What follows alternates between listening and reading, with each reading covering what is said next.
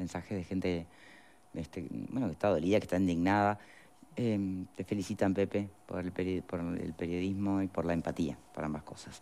Bueno, los escucho. Em, y también aparecen los pagos los palos al colectivo, a los colectivos feministas, tanto por Irán como por este caso puntual. Em, Valeria.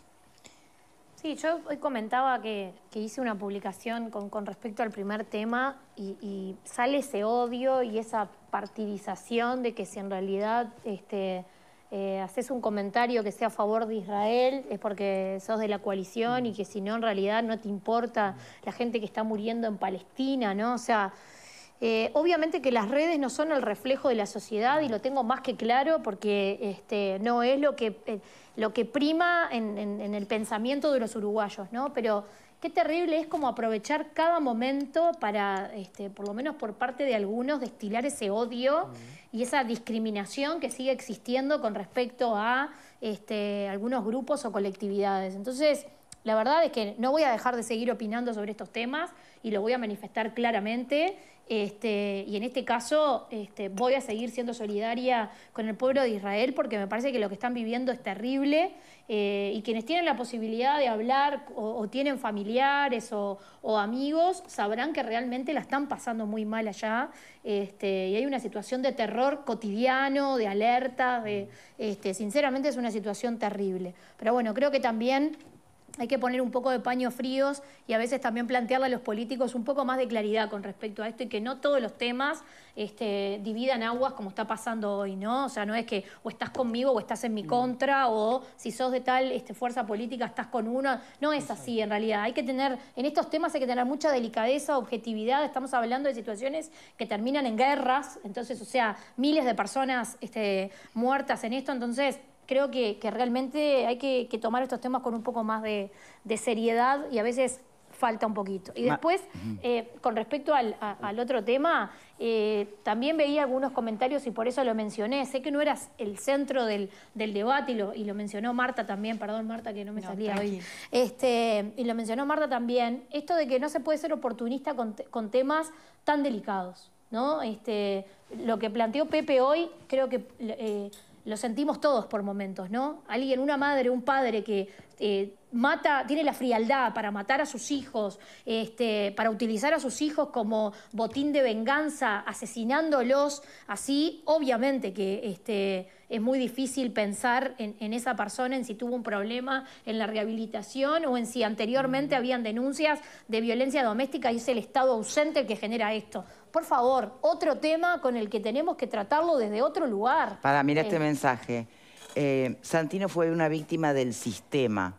Los controles se pasaron por alto, los vecinos, la familia de ella.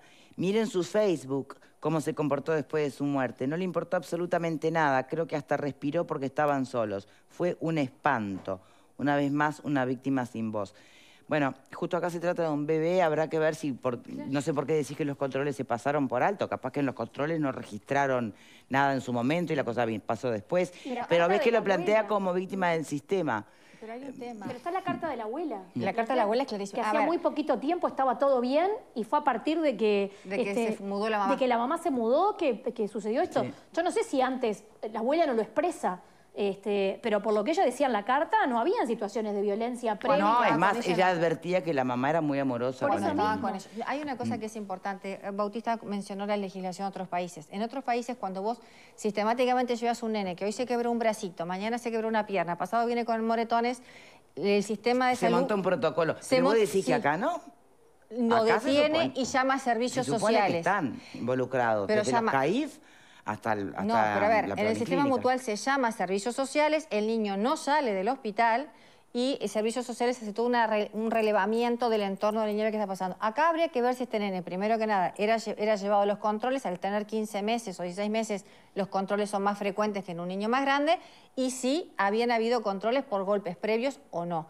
Esa es una situación. Ahora, hay algo que sí es importante. Esa polarización que vos mencionabas referente a eh, pro-Israel, contra Israel, también lo ves con el tema de la violencia. O sea, es como que la, sociedad se está yendo a, las puntas y eso es lo preocupante. Entonces, ¿qué es lo, ¿qué es lo, que nos está pasando? Que o ves el mundo de acá o ves el mundo de allá y no podemos llegar a un justo medio y analizar el problema en su, en su magnitud. Bien. Eso es lo que me preocupa. De este lado. Porque lamentablemente hay gente, no digo que sea la mayoría ni mucho menos, que canaliza su frustración atacando al otro y construyendo discursos de odio y las redes lamentablemente se han prestado bastante para eso. Yo creo que los dos temas de hoy que son temas muy dolorosos y muy complejos, eh, son temas que nos dan la oportunidad de que los dirigentes políticos vean más allá de, sus distintivos partidarios, más allá de sus fronteras ideológicas y digan, tenemos que encontrar soluciones. Porque en este segundo caso de la, de la violencia contra los niños, obviamente el cero no, no, va a ser posible nunca, pero a mí me quedan serias dudas de si estamos haciendo los máximos esfuerzos institucionales y acá hay mucho de gestión, no solamente normativa, para minimizar, para llegar a un mínimo. Así como vos sabés que mortalidad infantil cero no vas a tener, pero siempre se intenta mover un poquito la aguja. Y acá creo que ese desafío está planteado. Sería muy bueno escuchar a eh, los precandidatos y las precandidatas a la presidencia, eh, bueno, comentar sobre esto y, qué bueno sería que de distintos partidos colaboraran entre sí. Pepe, breve. Bueno, muy claro, mis compañeros, con este último tema. En el primero eh, estamos transitando horas cruciales. Cruzar esa delgada línea que nos separa de la barbarie va a significar que ya no importa quién haya disparado primero, a quién odiamos, a quién apoyamos, mm. porque estaremos entrando en un terreno desconocido para la humanidad. O sea que creo que ojalá eh, prime eh, la tranquilidad, la mesura en, en todo esto. Tengo mis serias dudas. Bien. Hasta aquí por hoy, gracias por habernos acompañado. Será hasta mañana, espero con temas un poco más afables, ¿sí? Chao, chao.